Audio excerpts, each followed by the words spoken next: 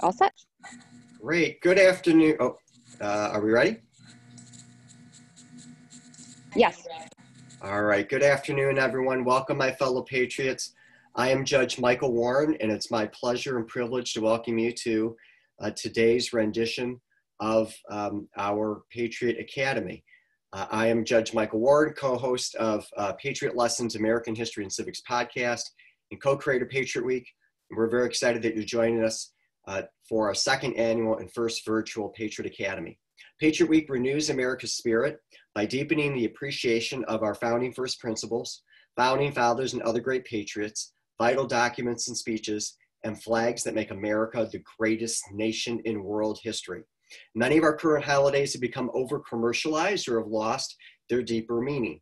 Uh, we need to reinvigorate our appreciation and understanding of America's spirit anchored by the key dates of September 11th, the anniversary of the terrorist attacks, and September 17th, uh, which is Constitution Day, the anniversary of the signing of the Constitution uh, by our founding fathers. The schedule for each day has a separate focus. Patriot Week was started in 2009 when my then 10 year old daughter Leah pounded on the table and demanded a new celebration for America.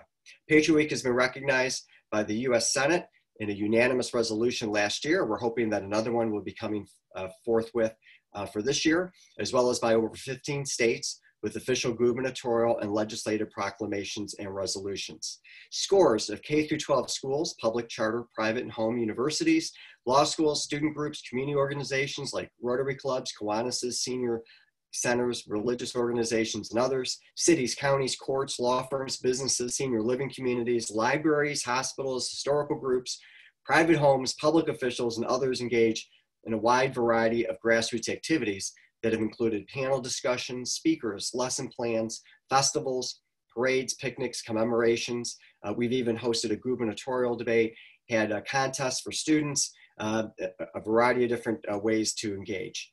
Uh, today we'll be discussing the themes of September 13th. And on uh, September 13th, we commemorate the indispensable first principle of the social compact, the indispensable man, George Washington, the congressional resolution, forwarding the Constitution to the states for ratification, and the current United States flag. We will begin by addressing the first principle of the social compact. America was unique in the course of human history because when we declared independence, we did so in defense of certain founding beliefs, what we call the first principles. John Adams, founding father and second president of the United States, observed in 1776 that we ought to consider what is the end of government before we determine what is its best form. Adams' prescription is peculiarly American. The United States of America, after all, was the first modern nation that was founded uh, its government on the basis of an end, a purpose, the preservation of freedom. America's first principles arose from a revolutionary understanding of politics and government, origin, originating from English philosophers such as Thomas Hobbes, John Locke, John Milton, Algernon Sidney, and the radical Whigs, the radical wing of the English parliamentary opposition during the 1700s. The founding fathers' philosophy holds that adherence to certain first principles is a prerequisite to a free and just government. Each first principle is an indispensable cornerstone of the American Republic, and each must be well understood to secure our freedoms and continue the success of our grand experiment in self government.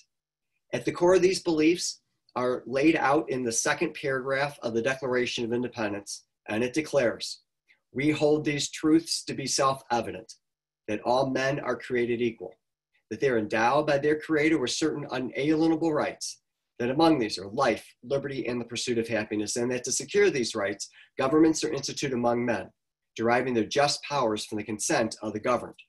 That when any form of government becomes destructive to these ends, it is the right of the people to alter and abolish it and to institute new government, laying its foundation such principles and organizing such power, organizing its power such form is to them seem most likely to affect their safety and happiness. From these eloquent sentences, we can identify six first principles the rule of law, unalienable rights, the social compact, equality, limited government, and the right to alter or abolish an oppressive government, that is revolution. Throughout the Academy, we will be addressing each of these in turn. So we've already, as well as, uh-oh, am I frozen?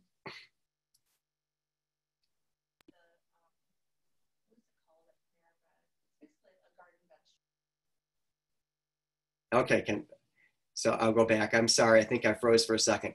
For these eloquent sentences, we can identify six first principles, the rule of law, unalienable rights, the social compact, equality, limited government, and the right to alter or abolish an oppressive government, that is revolution. Throughout the Academy, we will be addressing each of these uh, one each day. The founders believed, uh, and we've already addressed the re uh, revolution and the rule of law, so now we're moving on to the social compact. That the founders believed in the social compact is clearly revealed in the phrase from the Declaration of Independence that to secure these rights, governments are instituted among men, deriving their just powers from the consent of the governed. Now, there are two aspects to this first principle. The first holds that legitimate governments are instituted among the people. The second is that the just powers of the government are derived from the consent of the people. So the people are the basis for both of these. Like the other founding first principles, the founders derived much of their understanding of them from the English philosopher John Locke and similar like minded philosophers. Locke and the founders not only believed that all individuals were vested with unalienable rights, and we will be addressing this um, in, in, another lesson uh, this week, but those rights are given to the people by the Creator. So they believed this very intensely. They also believed that those rights are not absolute. They understood that the right to grow wheat or some other kind of crop does not permit one to steal someone else's bread.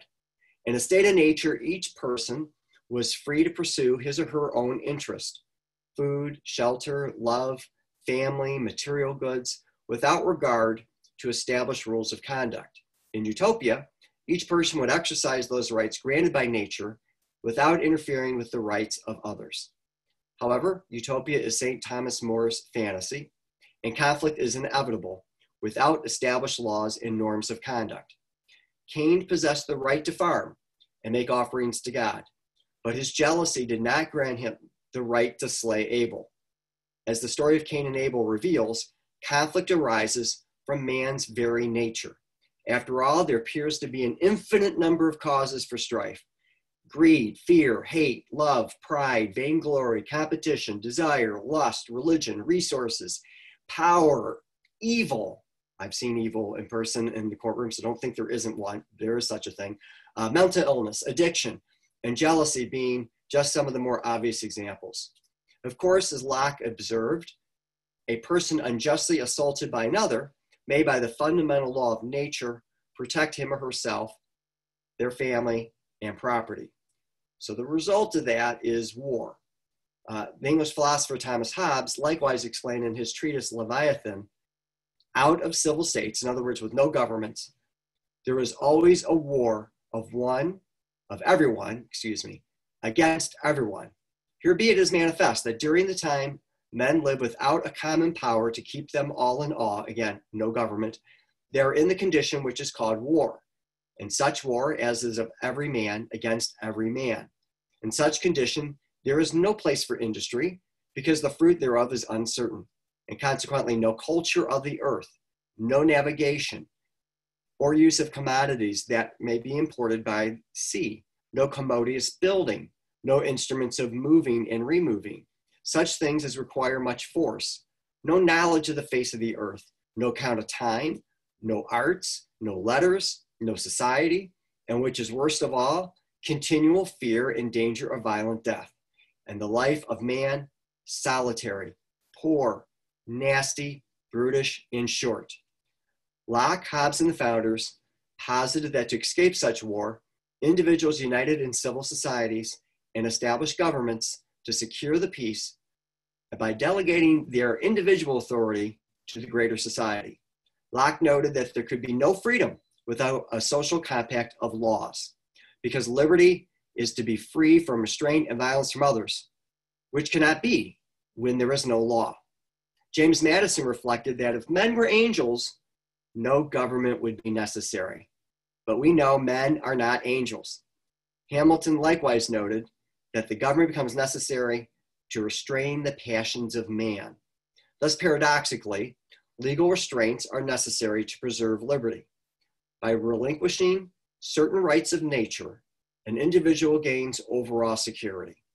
So, a, kind of simple example um, in a state of nature where there's no government, somebody comes in and steals your car, beats up your wife or a family member, and flees. Uh, in right of self-defense, you'd have the right to chase them down and beat them up, take back your car, and exact punishment on them uh, for what they did.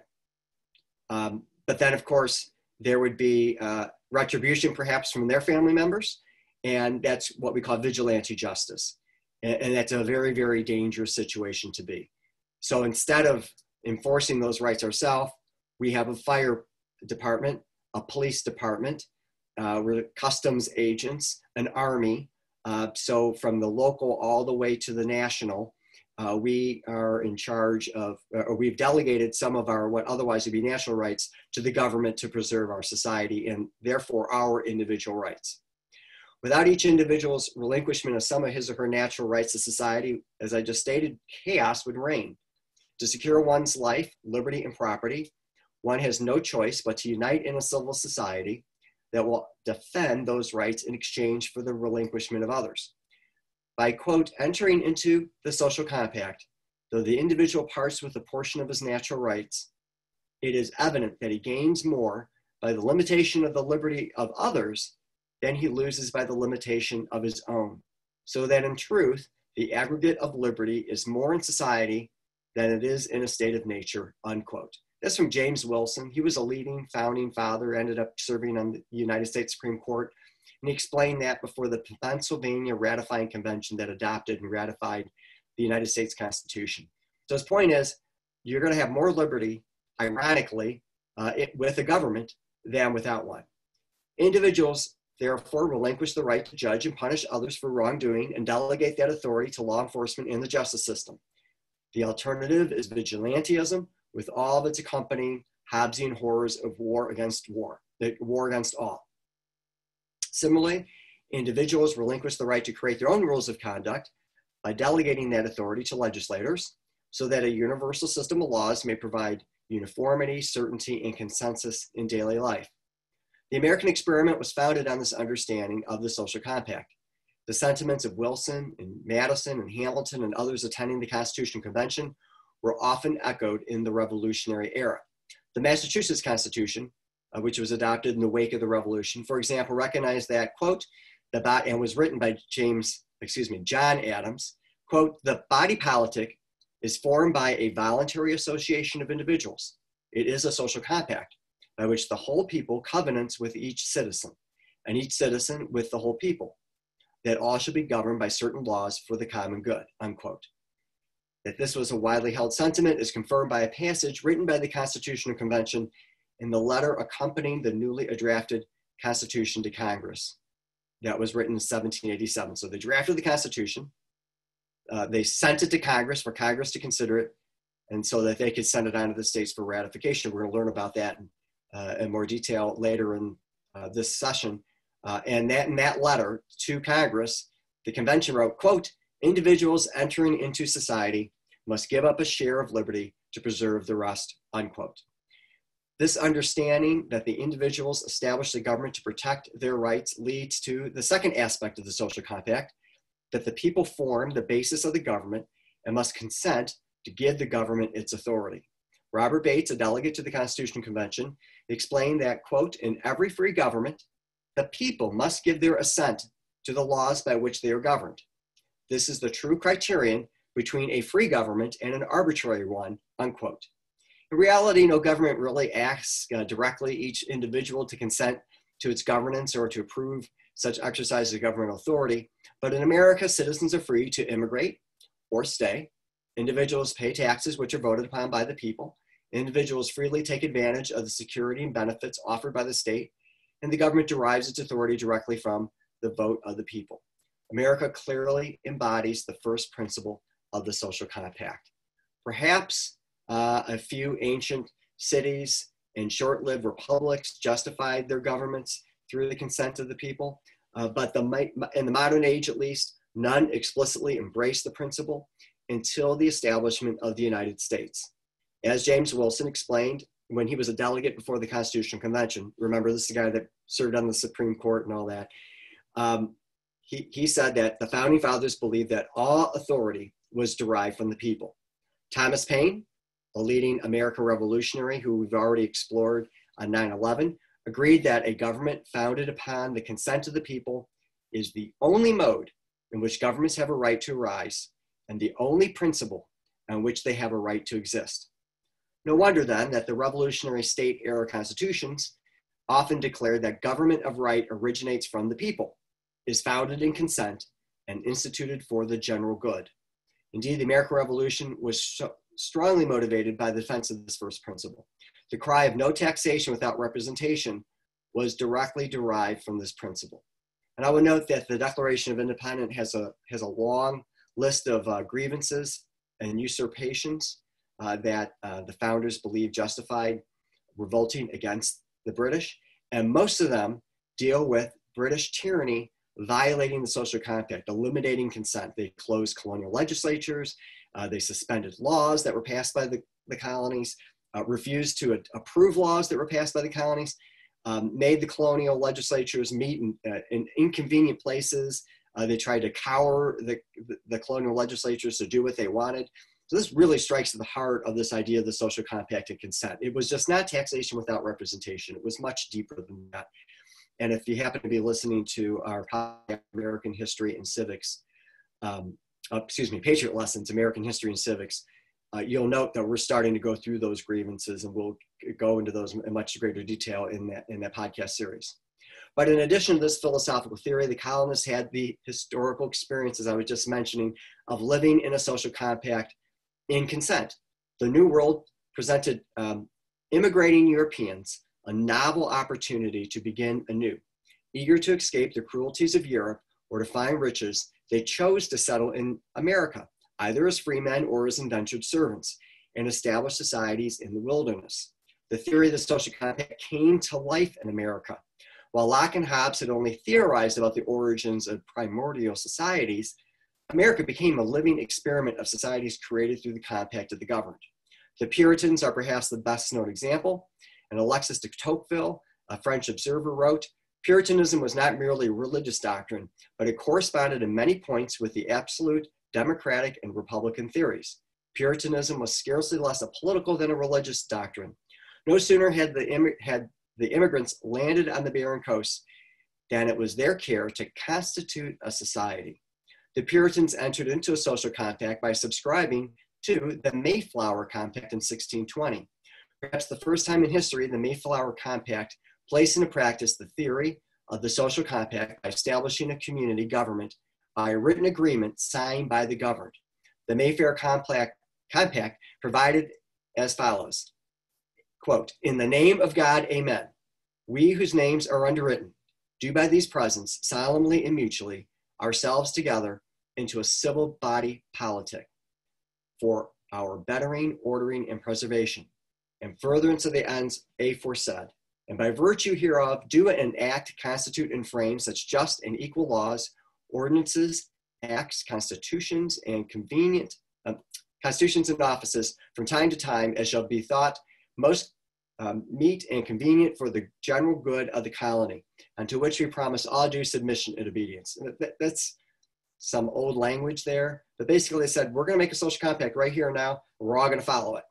Other colonies also established havens of freedom based on the social compact, and putting aside the shameful and dreadful realities of enslaved Africans and the killing and displacement of American Indians, and that's a, a huge topic uh, that we need to acknowledge uh, and we will return to in, in, in other uh, forum as well as here um, in uh, the Patriot Academy, the European immigrants consented to come to America and to begin a new life.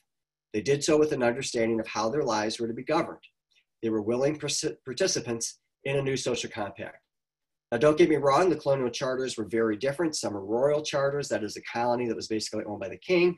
Some were owned by individuals like William Penn, he owned Pennsylvania, and others were set up in other ways. and almost none of the settlers had much of a say in how they were established. But remember, the colonists chose to go there, and the colonies quickly had representative assemblies that were intended to help fulfill the idea of the social compact. So it was by no means a perfect fulfillment of the idea of the social compact, but it was really getting there and was monumental in the course of human history.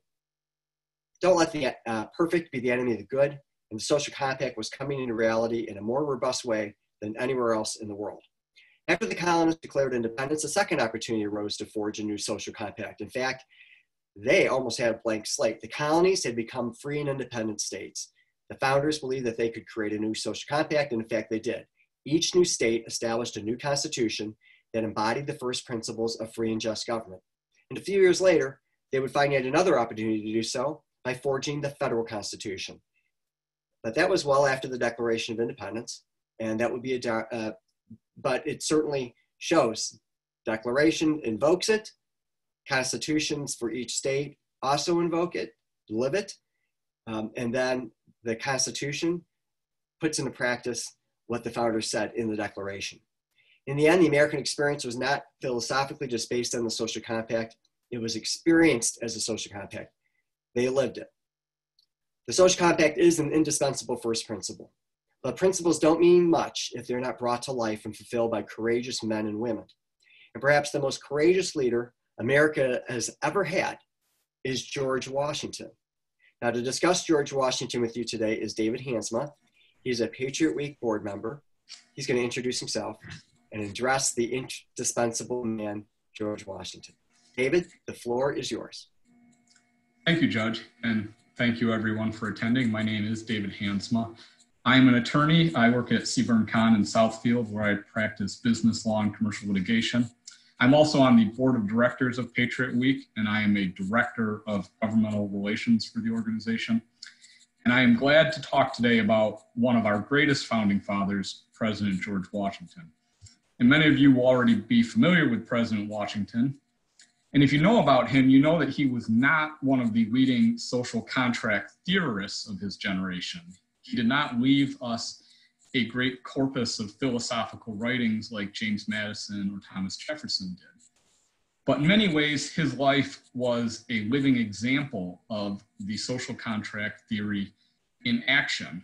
If, as Judge Warren uh, said, and I entirely agree, if the founding of the United States was something of a self conscious outworking of the social contract theory, George Washington was almost indispensable to that project. He was involved um, at almost every step of the way, and it's really hard to imagine the social contract that became the United States working without him. So I'd like to start with some biographical information, and then I'd like to make a few points as to how I think George Washington represents the social compact. So Washington was born in 1732 to a wealthy landowning family in Virginia. He served in the Virginia militia when he was a young man during the French and Indian War, and he rose to the rank of colonel. Interestingly, the man who went on to become the highest ranking general in the United States did not receive a commission in the regular British Army that he had hoped to receive. So after the war, he returned to Virginia and he became active in colonial politics. And he served in the Virginia legislature he became one of the prominent political figures in Virginia and a critic of British colonial policies. At the start of the Revolution, he served in the Continental Congress in 1775. And given his military experience and the almost universal respect that people had for him, the Continental Congress elected him as general and commander in chief of the Continental Army. And he served in that role for the entire war. This man who had only achieved the rank of colonel in a militia became the highest ranking uh, general in the United States, and he led what was sometimes a less than professional army to victory over the greatest power in the world at that time, which was Great Britain. After the war, this powerful, influential man simply resigned his commission and returned to private life. Then in 1787, he was nominated to represent Virginia at the Constitutional Convention, the convention that drafted and uh, signed the, what became the United States Constitution. And at that convention, he was again given his uh, the respect people had for him and his position. He was unanimously elected to serve as president of the convention. And history shows us he did not really involve himself in the debate over the Constitution, but his mere presence gave an imprimatur of respect and authority to what the Constitutional Convention was doing. After ratification of the Constitution, Washington was, of course, elected our first president of the United States. He had planned only serve one term, but agreed to run for a second term. He was urged to do so by both Alexander Hamilton and Thomas Jefferson, who were at the time sort of in the process of forming the two first political parties. And these two men despised one another, they hated one another. But they both agreed that Washington was needed as a unifying figure. Following his second term as president, uh, President Washington retired from the presidency, uh, something he wasn't required to do at the time. There was no requirement that a president serve only two terms. He could have run again, but he chose to retire. He delivered his famous farewell address to the nation. He retired back to his farm, and he died two years later in 1799. So, how does this extraordinary life represent the social compact theory? I, I think of four ways. First is obviously just the fact that he was simply involved in most of the great events that make up the founding of our country. Um, as Judge Warren pointed out, the founding of the United States was sort of the epitome of this Lockean social compact in action, and Washington was involved in most of it. He was in colonial politics, he was in the Continental Congress, he obviously served in the Revolutionary War, he was at the Constitutional Convention, and he served as our first president. The only major item that he missed as part of the founding era is he wasn't at the signing of the Declaration of Independence. But even that he was involved in, in the sense that it was his army that backed up the Declaration, and he rather famously had the Declaration read aloud to his troops. The second way that I think Washington represents the social compact is he helped define how the institutions of American government were actually supposed to work in the context of rule by the consent of the governed. For example, there was no American army before Washington, just local militia groups. It was Washington who helped organize the army. Without his military, administrative, and leadership abilities, it's not certain that there really would have been much of a war to fight. The British likely would have rolled right over the colonies and life would be very different for us today. So Washington helped define and establish this great American institution and how it would interact with and be subservient to the civilian powers, which is something we'll touch upon in a minute. Washington also obviously helped define how the presidency was supposed to work. There was no president before Washington, and the Constitution does not spell out in any great detail the job duties. So it was up to Washington as the first president to fill in the blanks. So, for example, he was the first person to create an executive cabinet and fill executive jobs. He had to figure out how separation of powers would work and how the president would interact with Congress. He was the first president to have to figure out what it meant for the Senate to advise and consent on treaties. And with respect to the uh, social compact that we live under today, which is the US Constitution, Washington helped define how that would work itself out in real life. He also famously set the precedent of retiring after two terms. And no other president ever sought a third term until Teddy Roosevelt in the early 20th century. And then we had a constitutional amendment after that that limits presidents to two terms. But before that, presidents by tradition only serve two terms because that's what George Washington did. This leads me to a third point, which is one I alluded to. Washington represents the social compact by the way he conducted himself, and he represented the idea of government by consent of the governed. So Washington did not rise to the rank of general by appointment of a king or by using his wealth to raise his own army like an ancient Roman general would have done. he was elected to that position by a representative assembly, which was the Continental Congress. And being the most powerful and respected man in the country, he served in that role only at the pleasure of the Continental Congress, and he submitted the military power to the civilian power. And then after the war, again, being the most powerful man in the country, he simply retired back to his farm. And then again, as president, he only wanted to serve one term, and he was somewhat dragooned into a second term. But then again, after that, he simply retired to his farm. So his extraordinary life represented the idea of government service as just that service to the will of the people. He did not use his position uh, to seek power for himself, as so many governments did before, including obviously Great Britain with its king that was the head of state. And then the fourth point, in the way I think Washington represents the social compact theory, is he had the political virtue to lead his country. He, he obviously wasn't perfect.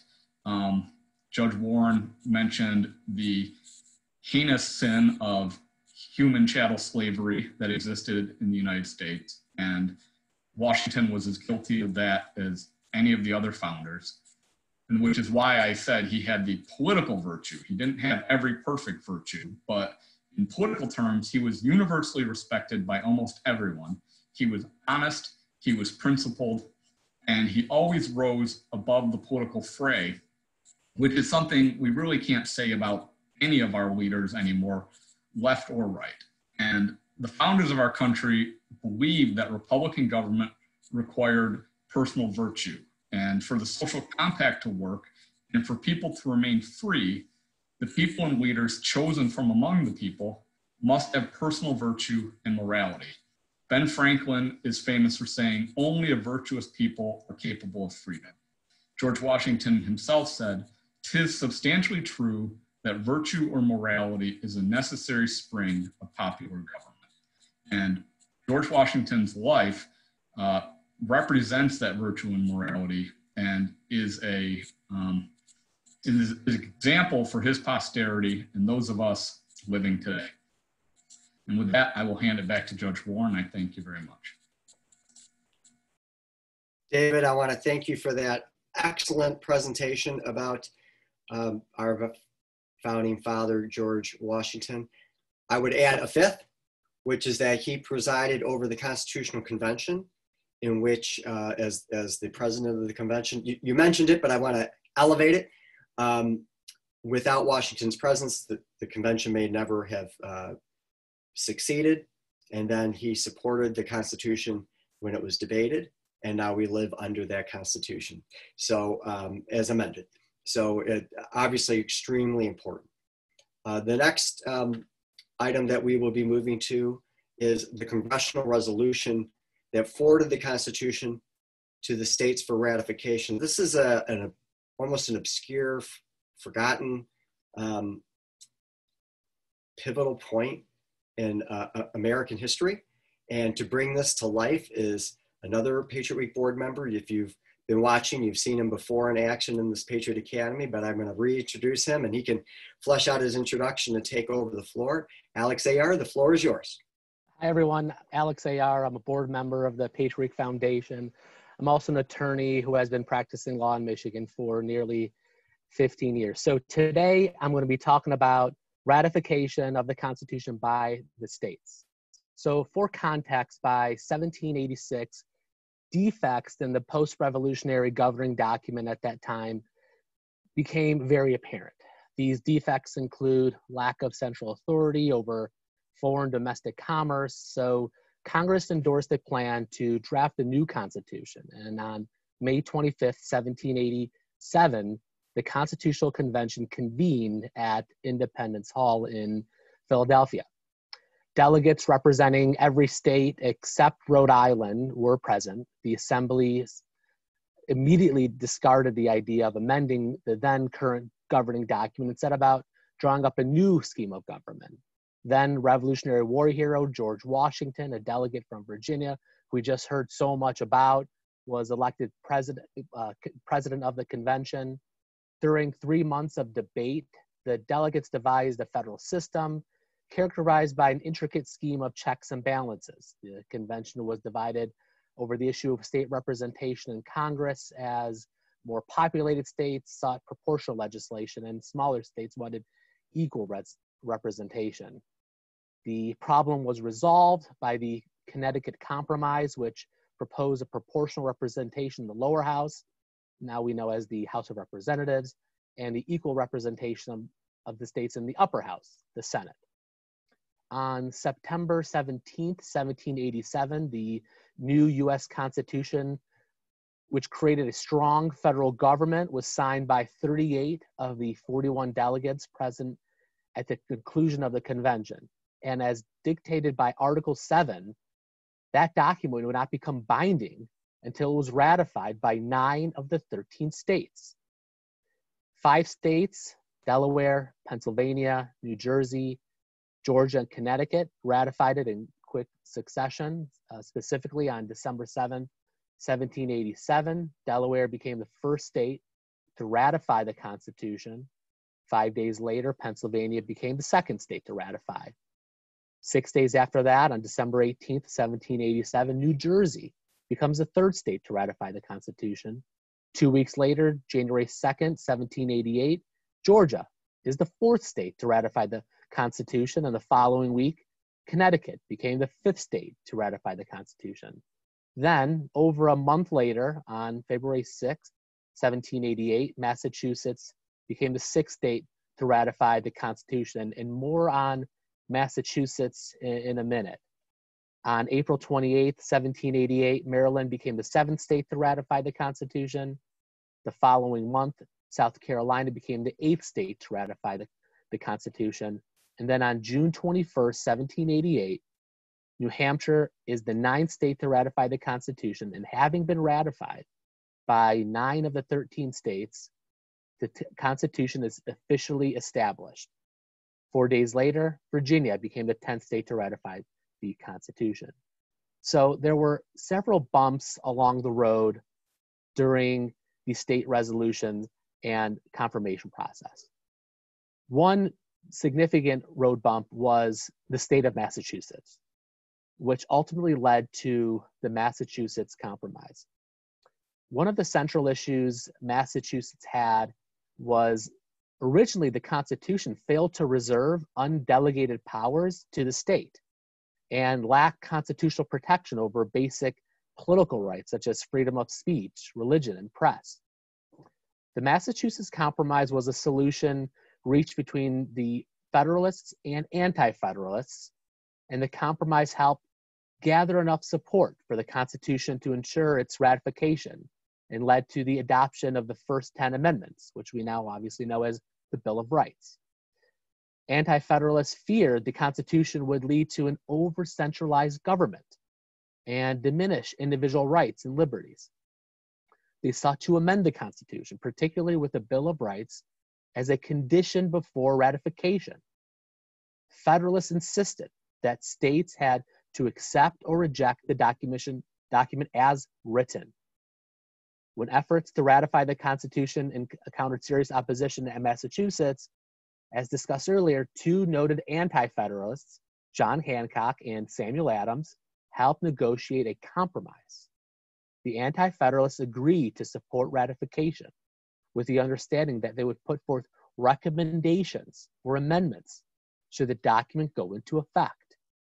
The Federalists agreed to support the proposed amendments, specifically the Bill of Rights.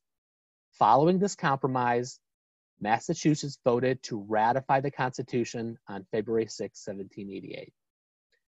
Thereafter, on July 2, 1788, a committee is formed to examine all ratifications received thus far and develop a plan for putting the new Constitution into operation. Finally, at the end of the summer on September 13, 1788, Congress certifies that the new Constitution has been duly ratified and sets dates for the first meeting of the new federal government and the presidential election. And with that, I turn it back to Judge Warren. Uh, thank you very much, Alex. You need to give me a little bit more extra time. Uh, all right. uh, the one thing I would say is uh, thank you very much. That was an excellent rendition of the ratification process. And remember, it all got kicked off uh, by a resolution from the Congress uh, to send it to the states for ratification. And uh, just one quick commentary about that. That was the Continental Congress, which basically said, should we commit, should we go out of business? Should we, you know, uh, commit suicide and, and be replaced uh, from the Articles of uh, Confederation, which currently existed, to the uh, US Constitution, which is an extremely rare event to say the least. For those of you that have been watching, um, it looks like we might have a little bit of time. We're going to keep it to an hour, but we might have a little bit of time at the end for questions. If you look at the bottom of your screen, you'll see that there's a little chat. Um, you have to put your arrow there. You'll see there's a little chat button. Um, you can type in questions and uh, hopefully one of us can grab the question and respond uh, if we have the time. Don't feel pressured to invent a question, but we had some nice dialogue um, yesterday, and so I, I, would encourage that today if you're interested in doing that.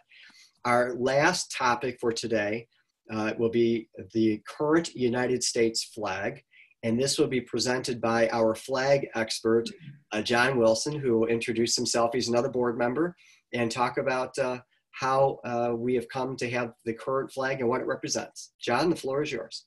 Thank you, Judge. Uh, give a little history of the flag, um, and then we will um, dovetail into a fun fact, and then uh, its correlation to today's first principle, the social compact.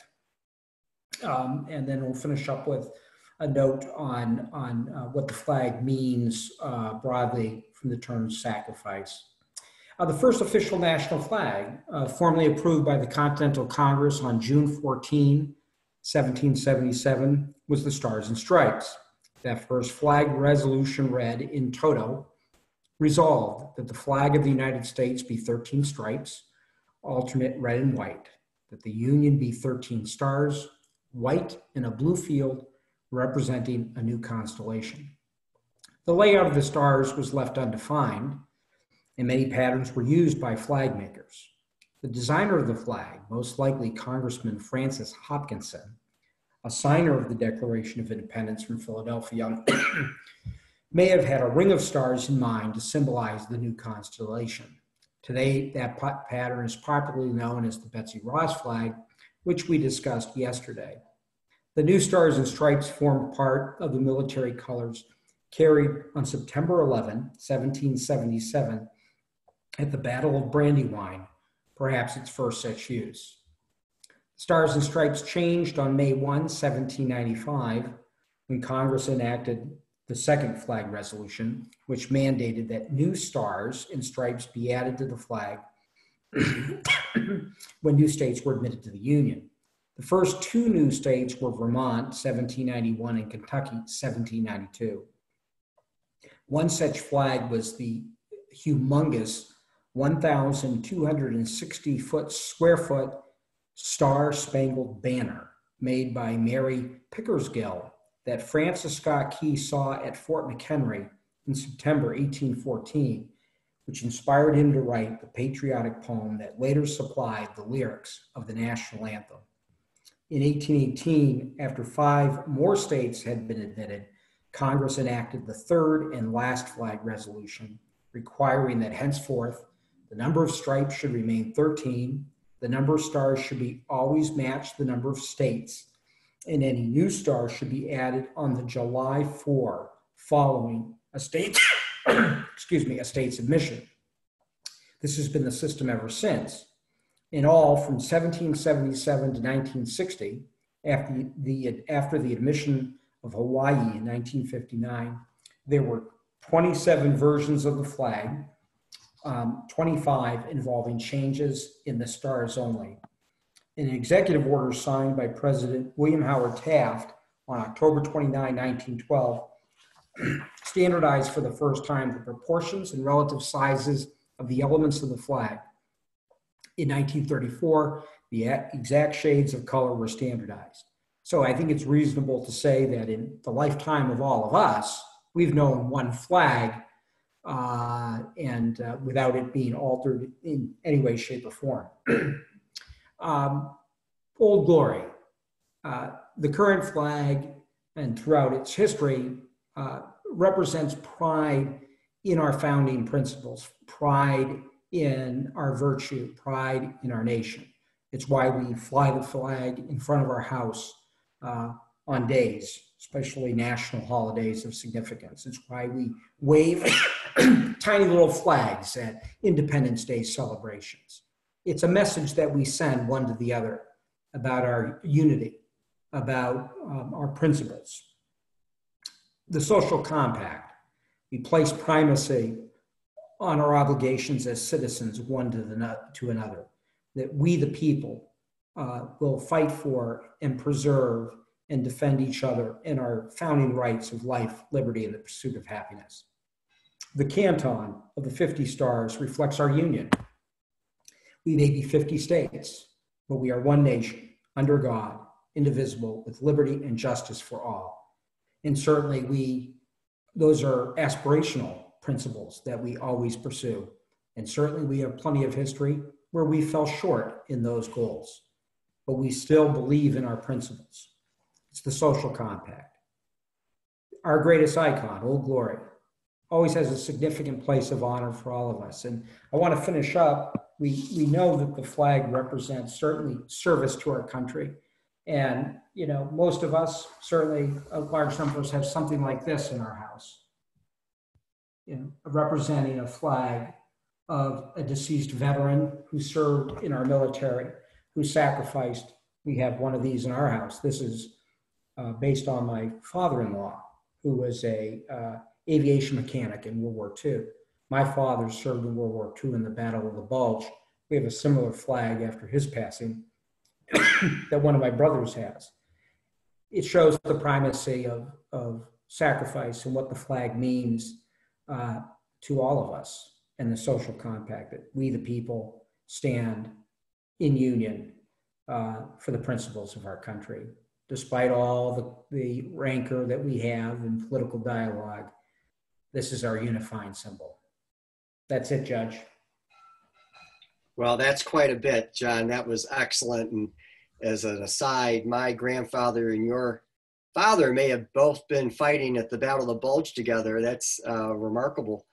Um, we're not that uh, different in age, so there, there was something else going on there. But uh, yeah,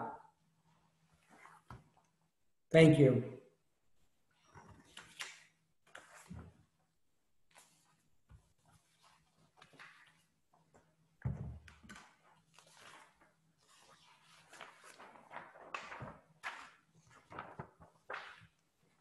I think you're frozen, Judge.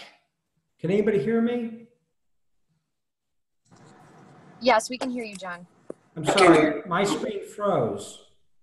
I, I, yeah, I see Judge Warren is frozen. Yeah. Hello, Judge Warren. You're frozen. you need to thaw.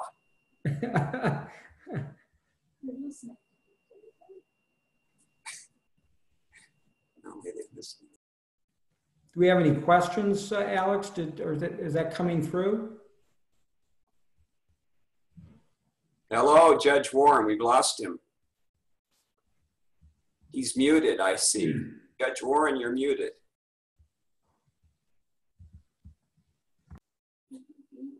Michelle, they can see you too.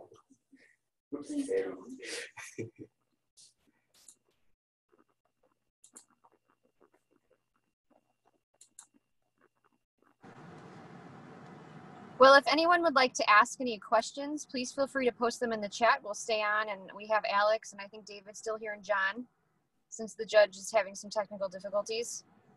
Please let us know. We'll give you a couple minutes. I have sent a few questions to Judge Warren. I hope he answers them.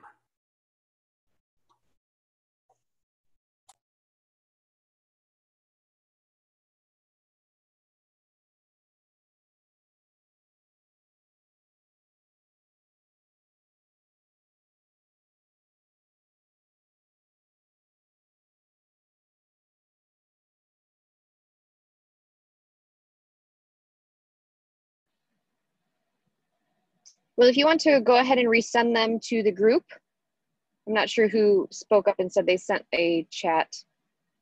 Um, there should be an option where you can send it to everyone and then I can read it or um, Alex or David or John can read it.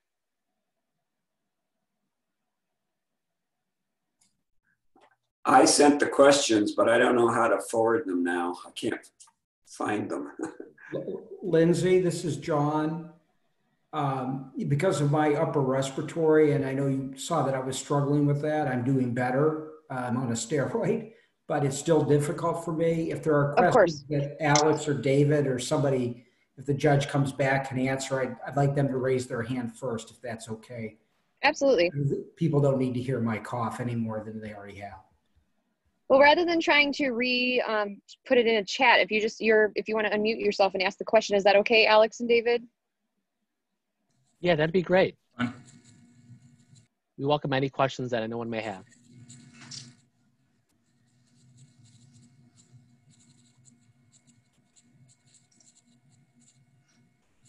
So there's a question that I see that says, if we missed yesterday, is there a way to watch it? And uh, yes, there is. It will be up at the Patriot Week website. I don't know if it's up yet. Um, You could also it is not up it on, yet, but it should be this evening as well. Okay. You, you also can it find be- it on. You could also find it on Judge Warren's Facebook page. Yes, Um, that's he, true. Uh, videotaped uh, each one of these presentations, and um, you could find it on Judge. Warren's Facebook as well. I have a question. This is David. Hello. Go ahead. Oh, yeah, I'm a little confused about one item. And was the Constitution ratified by Massachusetts before the Bill of Rights was drafted? Uh, or and or was there some sort of um, or was a Ma- the Massachusetts Compromise document that was signed to assure that the Bill of Rights would be drafted later? Can you fill in that gap of my understanding? Yeah, sure. There was, in connection with the Massachusetts Compromise, there were several proposed um, resolutions and amendments that the Massachusetts state legislature brought up inconsistent with that. And the Bill of Rights would not have been um, established until after the um, New Hampshire ratified it on June 21st, 1788. So there is a little bit of time between when Massachusetts, which was the sixth state to ratify the, the Constitution, and in conjunction with that, they proposed several uh, amendments. And in fact, each of the states that ratified, four out of the five states that ratified the Constitution after Massachusetts, likewise adopted Massachusetts' lead and also wanted similar protections. And uh, consistent with and contemporaneous with those states' uh, ratifications, they also wanted similar protections like uh, Massachusetts did. So the uh, ultimately the ninth state to ratify the Constitution was June 21st, uh, New Hampshire in 1788, which was um, after Massachusetts and other states uh, ratified it. So the Bill of Rights came after uh, the uh, Massachusetts Compromise, after the uh, Constitution was fully ratified, because at the time they wanted either an acceptance or rejection at, as it was written. And then shortly thereafter, uh, the Bill of Rights uh, came into being. And I see Judge Warren has rejoined us. And um, uh, if you haven't heard the question, uh, Judge Warren, David, feel free to um, um, ask it again. If you uh, heard my answer, if you have anything to support, please feel free. So when Massachusetts ratified the Constitution, were they taking some risk that there would be no Bill of Rights, or was there something assuring them that it would come? Um, I, I, my understanding, and Alex, you might have a different understanding, was that there was, uh, for lack of a better term, a, a gentleman's agreement. Yep. That Madison would move forward and ensure that a Bill of Rights was approved. I don't believe there was a document.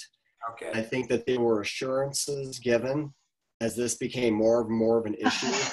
And back then, of course, um, uh, a, gentleman's agreement really meant something. You know that that that was on their honor that they would be doing that. So, um, I am I'm unaware of any written document or contract. So there was a risk. I mean, if J- Madison had died, or the Congress had rejected the request for a Bill of Rights because he didn't have the influence, sure, there was there was a risk.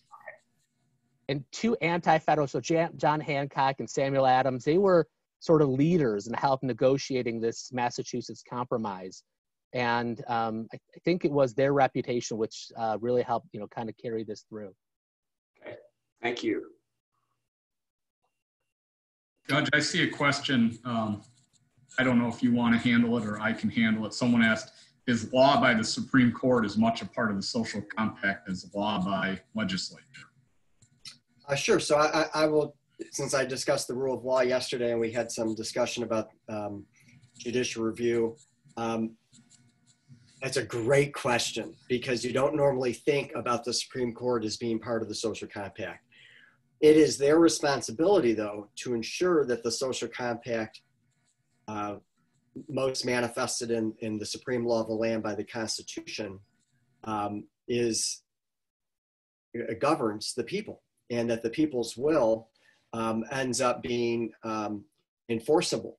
And so I would say that, and you're not, you, I, I, hate to hedge it here, but I, I would say that for when the Supreme Court acts within its role to ensure that the Constitution is enforced appropriately, exercises judicial review and interprets the Constitution.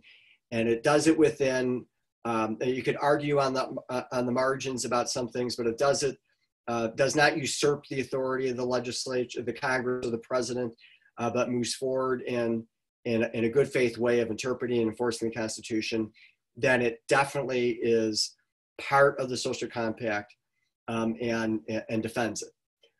The, there are some opinions that I think could, uh, and I'll use one in the past, so not to be so controversial. The Dred Scott case uh, was won by the Supreme Court, which really went off the rails. It it totally misread the Constitution. It said that if you had an enslaved person that was brought from the South, brought to a free territory, that um, the laws of the free territory could not apply to the slave. And basically, they said, if you read it the way that um, you know, is most expansive. The Missouri Compromise was unconstitutional. That uh, any attempt to limit slavery in the territories was unconstitutional, and and really basically said if you had a slave and you brought him to um, a, a, a free a free state, uh, that that would be um, also unconstitutional. You know, that the laws of of the free state would not apply, and I think that that all of that is um, subverting the social compact. So I think it really becomes a case by case analysis. I think most of the, the function of the Supreme Court should be to uh, affirm and defend the social compact, which is embodied in our Constitution. That's the whole purpose of it. Um, and to ensure that the laws are, are, are fairly read and applied. But in those circumstances where they simply go off the rails, then it's, it's subverting. Uh, so I hate to hedge there and say, you know, sometimes yes and sometimes no, but I think that's I think that's the the, the practical reality.